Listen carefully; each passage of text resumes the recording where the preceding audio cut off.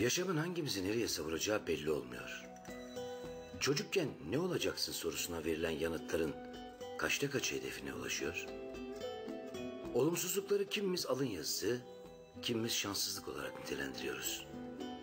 Başarısızlık hanesini ise hiçbirimiz doldurmak istemiyoruz.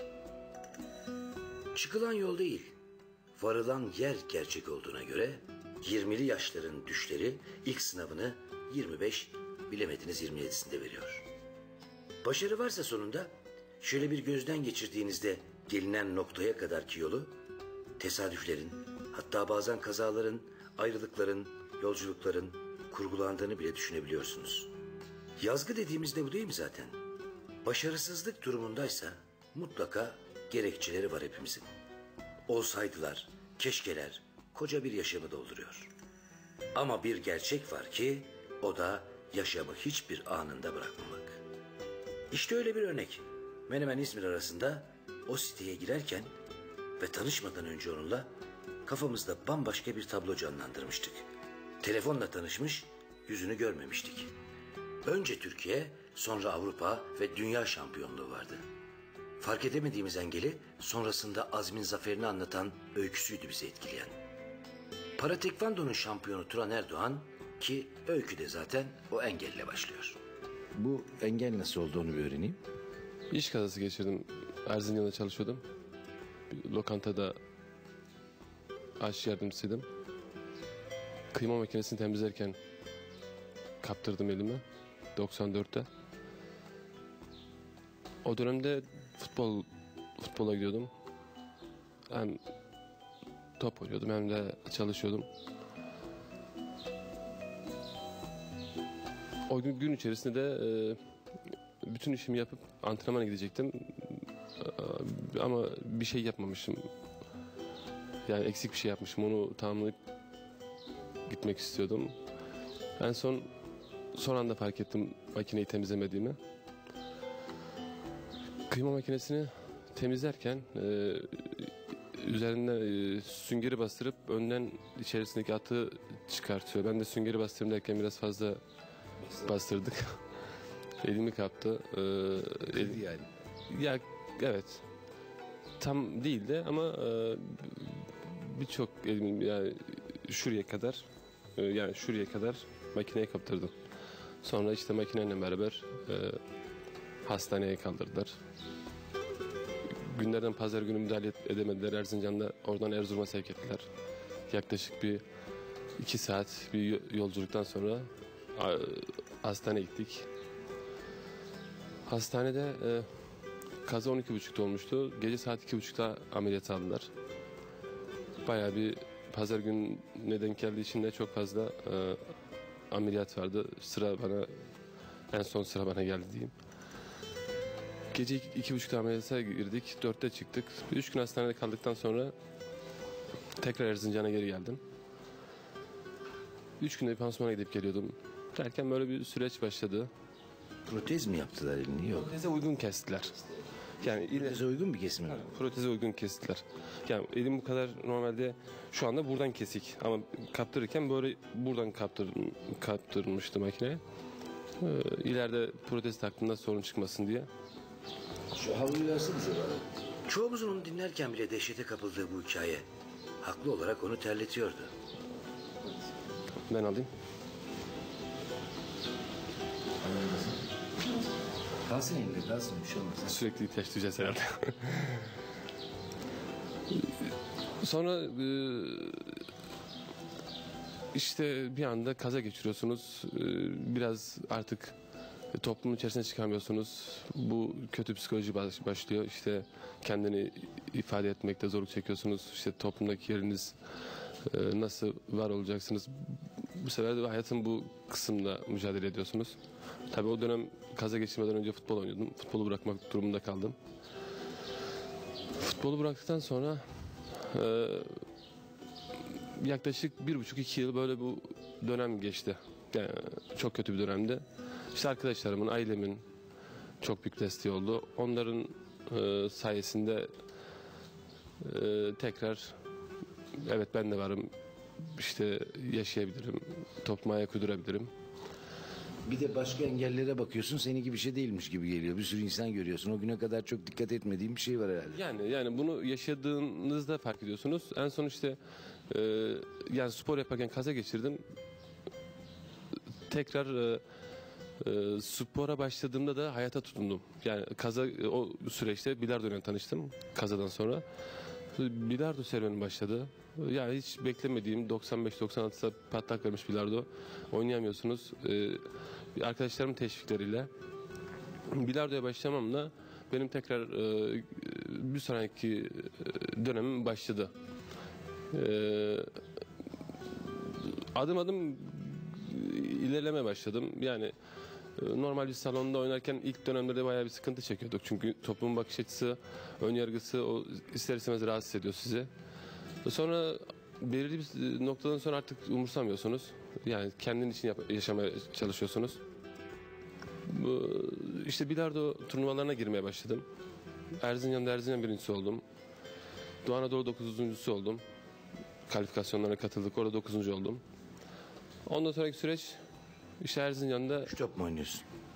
yani Amerikan'da başladık. 3 top en son şey karambol en son 3 bant. 3 top. Ondan sonra 2000 yılında da İzmir'e yerleştim. Ailem bir kısmı buradaydı. Abim ablam. Buraya yerleştim. Burada e, bir iki sene e, böyle iş aramaya başladım. Yani nerede çalışabilirim, bana uygun nerede iş var onu araştırmaya başladım. En son bir işe girdim. Bir alışveriş merkezinde çalışıyorum şimdi. Güzel, tam istediğim bir işti. Sonrasında e, böyle İzmir hayatım böyle başladı. Tekvando nasıl başladı? Tekvando e, çok ilginç bir şey oldu. Bir gün hocamla otururken para tekvandonun açıldığını söyledi. İşte ben seni düşünüyorum Turan dedi. Hocan kim? Ümit Yurtsever. Ben de seni düşünüyorum falan. E, belirli bir yaşa gelmişsiniz. Tekvando biraz estetik isteyen bir spor. E, nasıl yapabileceksiniz? Yani spor altyapım var ama e, o konuda ne kadar iyi olabileceğimi düşünemiyordum. Yok dedi ben sana inanıyorum, güveniyorum, yapabileceğini biliyorum dedi. Çünkü geçmişinde de bu başarılar varsa, var senin dedi. Burada da bunu devam ettireceksin. Bu konuda ben e, kesinlikle güveniyorum sana. Ben çok fazla böyle işin içerisine girmediğim için de bana hiç de cazip gelmiyordu. Ama bir şey olması lazım yani içine girmem gerekiyor ki ben bu işi yapayım. İşte benim adıma evraklarımı hazırlayıp Ankara'ya gönderiyor falan. Ankara'dan bir haber geldi işte Türkiye seçmelerine katılacaksınız. Sizi bekliyoruz falan. Yani gidenlerin içerisine Başlamışsın o arada ama. Var tabii. Ha tekvando çok öncesinde vardı. Yani çok ho- hobi olarak yapıyordum ama profesyonel değildim. Ee, hocam onu söyledikten sonra ara ara antrenmanlara gidip gidiyoruz. İş, spor falan. Bir haber geldi. Gideceksiniz ne? Hocamla e, antrenmanlarımızı sıkılaştırdık. Sonra Türkiye seçmelerine gittik. Orada e, Türkiye seçmelerine seçildim. E, 6 tane ağır siklette sporcu vardı benimle beraber. Artı 80'de Türkiye şampiyonu seçildim. Sonraki süreç e, kampa kaldık. Dünya şampiyonasına hazırlanmak için kampa aldılar bize. Yaklaşık 3 hafta kampta kaldık biz. Kamptan sonra 2010 Dünya şampiyonasına gittik. Rusya'ya gittik. St. Petersburg'da dünya şampiyonası oldu. Hiç hayal edemeyeceğim bir şeydi. Ee, çok böyle ama bunu tabii e, artık Türkiye şampiyon olmuşsunuz. E, ülkeyi temsil ediyorsunuz. Bunun verdiği bir ağırlık var. Kamp hayatım çok yoğun geçti. Oradaki hocalarımız da e, üzerimize çok Muharrem Canmaz üzerimize çok çalıştı. E, onun da katkıları var bu anlamda. E, Şampiyonu. Gittik Rusya'ya. Yani hiç hayal edemeyeceğim bir şeydi. Gidip oraya dünya şampiyonu olup gelmek. Kamptaki o e, enerjiyi aldım yani. İnanıyorsunuz e, bir hedefiniz var. Ve gittik dünya şampiyonu olduk geldik. Avrupa şampiyonluğunda var. O 2011. Dünya şampiyonu olup geldikten sonra tekrar Türkiye şampiyonası. Ee, 2010 dünya şampiyonu olduğum için Türkiye e, şampiyonasına direkt geçiş hakkım vardı. Orada da Türkiye şampiyonu seçildim ve Avrupa şampiyonasına hazırlandık. İki haftada 2011'de 2000, e, iki haftada kampta kaldık. 2011 Av- Avrupa şampiyonası için. Onu da Moskova, Rusya'nın Moskova bölgesinde gittik. Bir de Avrupa şampiyonu olduk geldik. Anlatırken belki kolay. Ama ağzından yavaş yavaş dökülen sözcükler içinde kopan fırtınanın ağırlığını saklayamıyor. Şampiyonluklarından belki kimsenin haberi yok. O ve onun gibiler uluslararası arenada dalgalandırdıkları bayrakla gururumuz oluyorlar. Ve can alıcı soruya geliyoruz. Milli sporcu olmanın ve şampiyona kazanmanın e, ödüllerinden yararlanıyor musun? Onunla ilgili çalışmalar var. Yani Şu anda bir şey yok. şu an için Hiçbir şey almadın mı yani sen? Yani 5 bin 6 bin lira yakın bir pa- para verdiler.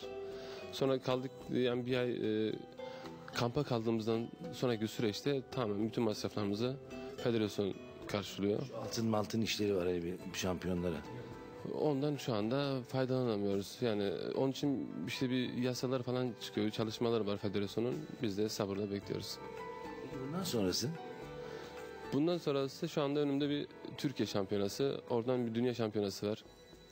Ee, artık e, ona aynı şekilde hazırlamaya çalışıyorum. Kürsüye çıktığın gün aklına elini makineye kaptırdığında bugünlere geleceğin yani aklına gelir miydi hiç? Böyle istenmeyen bir olayın böyle bir olaya vesile olması.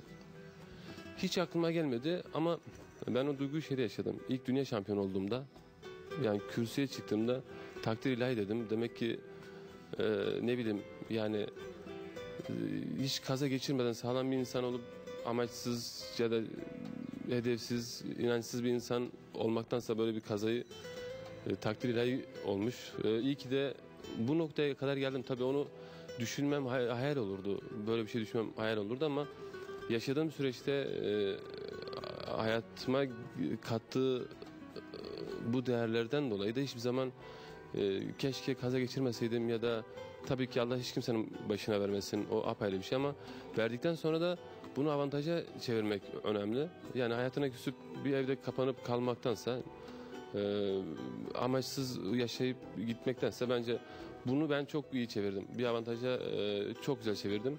O yüzden kazadan sonra yaşadığım o süreçte de hiçbir zaman e, bir uzuvum eksiktir. e, ben bunun ezikliğini yaşadım ya da ne çevrem ne ailem ne de kendim böyle bir şey hissetmedim. Hatta birçok kez işte dönem dönem işte protez tak e, niye böyle daha uygun olur daha iyi olur senin için falan ama ben o gerçeği içimde yaşıyorum. Protez takmakla neyi kapatacağım?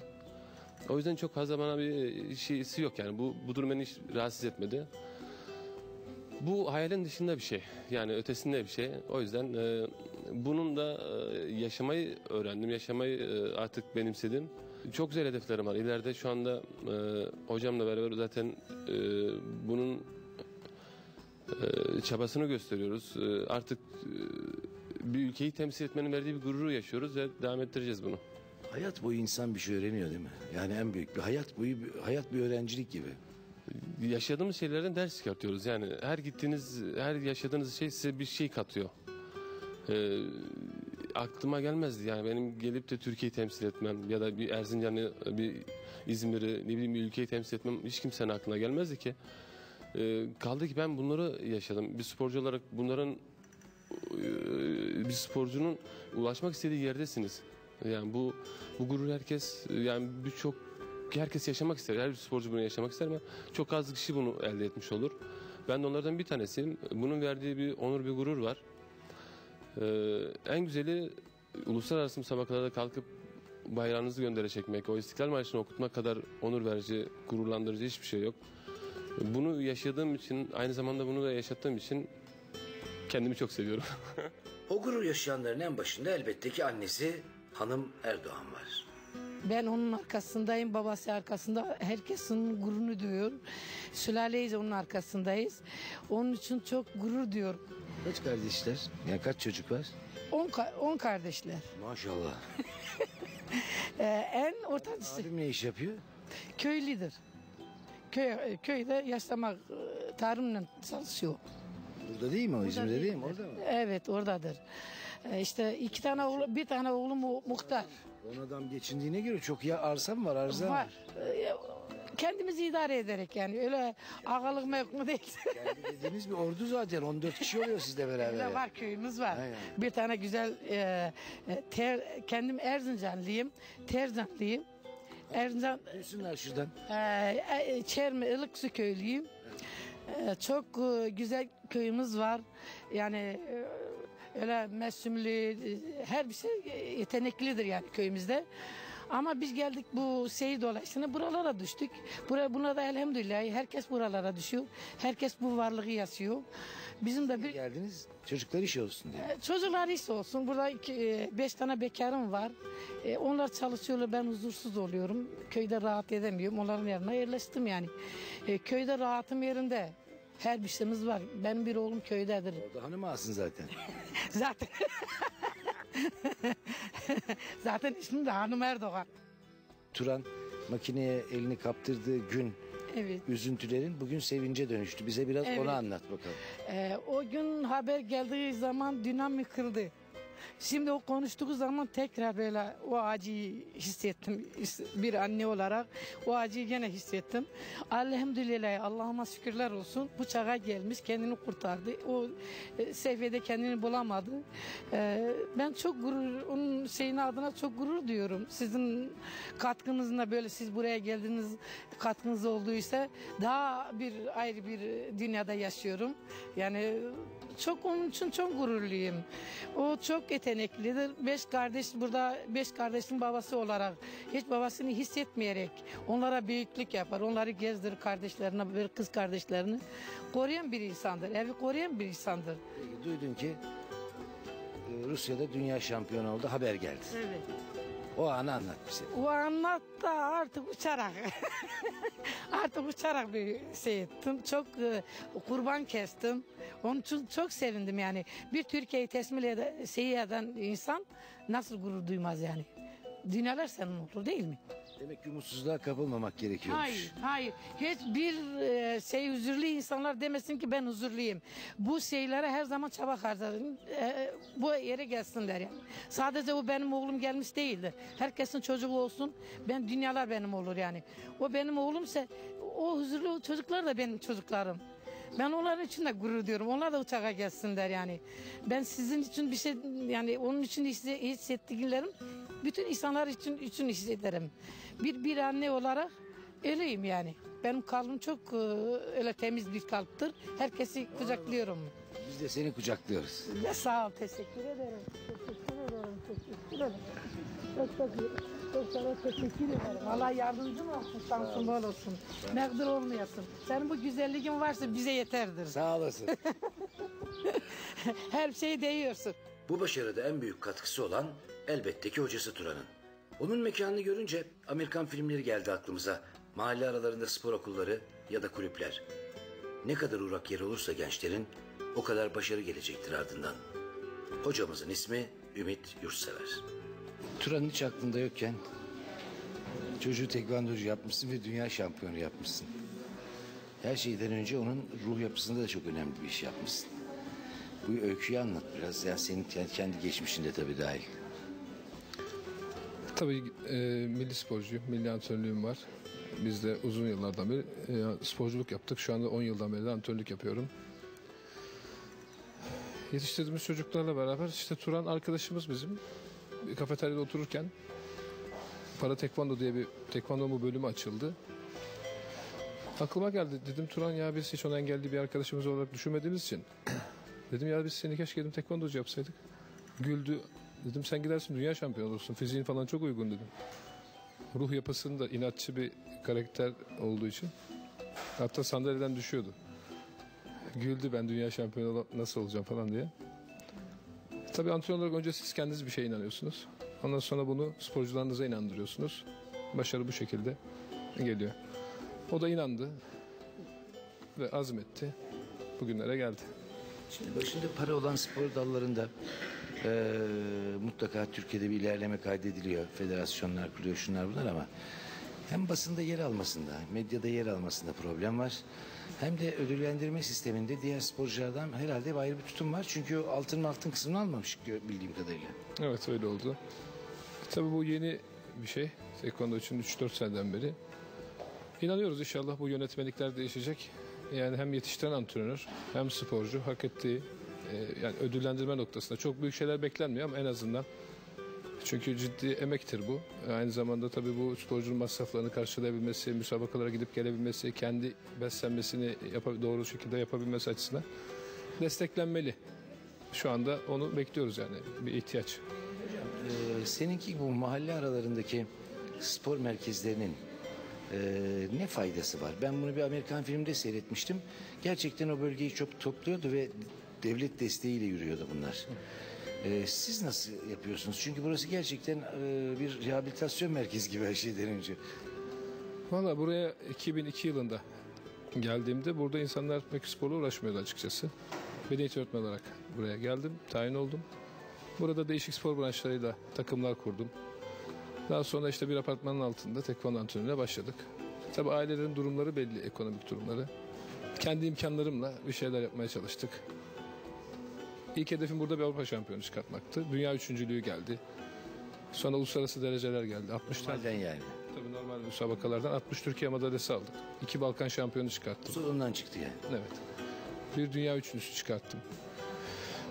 Avrupa şampiyonalarında değişik kategoride sporcular gönderdik. Uluslararası 8-10 tane uluslararası e, müsabakaya sporcu gönderdik. Turan'da bir dünya bir Avrupa şampiyonluğu getirdi kulübümüze. Çok büyük destekler alamadık tabii. Bunlar öncelikle kendi özel çabalarımızla, kendi imkanlarımızla e, başladı. Hala da öyle götürüyorlar. Belki de bu imkansızlıklar bizi kamçılıyor bir şeyleri başarabilmek adına. İnşallah zaman içerisinde bu inancımızı yitirmiyoruz. Siz bir şeyler yapmaya kalktığınızda birçok şey önünüze engel oluyor. Biz yılmadık, inandık. Bir şeyleri başardığımıza inanıyoruz. Daha iyi şeyler yapacağız inşallah. Başkana git. Bence de destek olur başkan. Evet. Menemen başkanı. Çünkü e, iletirsen mutlaka destek olacaktır. Önümüzde seçimler de var bir de düşün yani. evet. İnşallah yani biz kendimiz için bir şey istemiyoruz. Burada yalnız şu oldu. Gençlerimiz için çok iyi bir şey oldu. Yani çocuklar sokaktan kurtuldular.